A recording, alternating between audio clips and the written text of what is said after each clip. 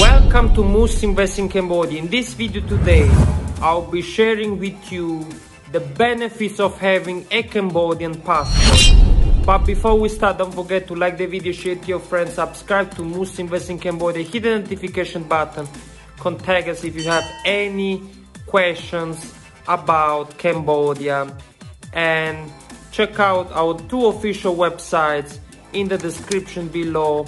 Comment below or contact us on our Facebook meta page or Instagram page if you have any questions about Cambodia.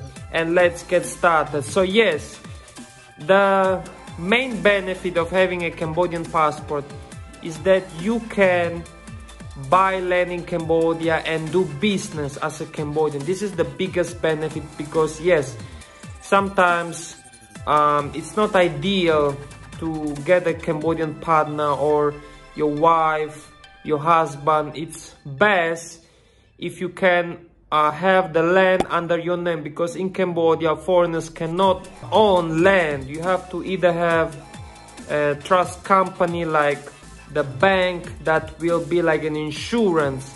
This is a trust company and uh, it's usually done through Canadia Bank and um, Shinhan Bank and KB Bank. These are uh, Korean banks uh, in Cambodia but definitely these are the ways in which a foreigner can buy uh, land in Cambodia. You can own your own condo if it's the second floor to any floor above that.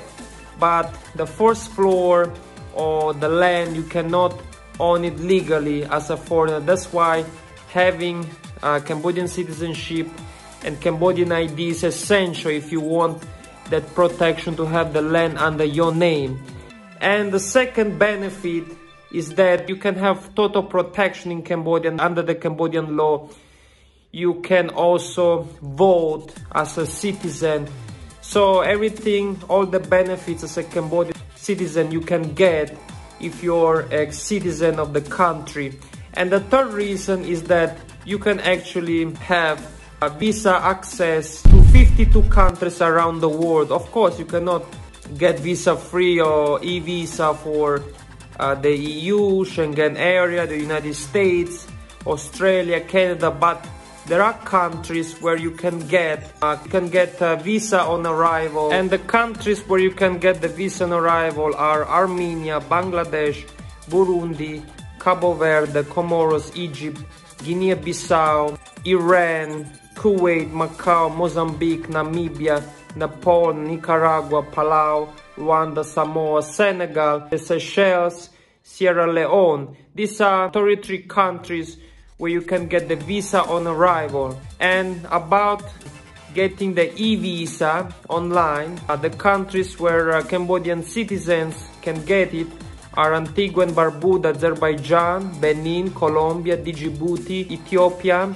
Gabon, Georgia, Guinea, India, Kenya, Kyrgyzstan, Lesotho, uh, Malawi, Montserrat, Oman, Pakistan, Qatar, Sao Tome and Principe, St. Kitts and Nevis, Tajikistan, Turkey, Uganda, Ukraine, UAE, uh, Dubai, and Uzbekistan. So yes, you can get uh, the e-visa online, which is uh, great if you're a Cambodian citizen. So basically you can get EVs in 27 countries and you can get also a visa on arrival in 33 countries including all Southeast Asian countries plus a few other like Egypt like Panama Ecuador.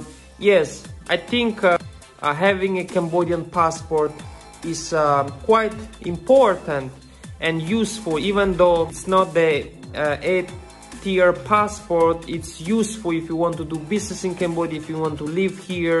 And yes, also, I think Cambodia is one of the fastest economies in the world. So I'm sure the Cambodian passport will gain strength, even though at the moment it's uh, position 95th in the world passport ranking with uh, Singaporean passport being the number one with uh, the uh, Italian passport being number two together with few other European nations. But yes, uh, definitely these are some benefits of the Cambodian passport. Feel free If you have any questions about Cambodia, comment below, contact us on our Facebook meta page or Instagram page. Check out our two official websites in the description below if you need any service in Cambodia, including Cambodian citizenship.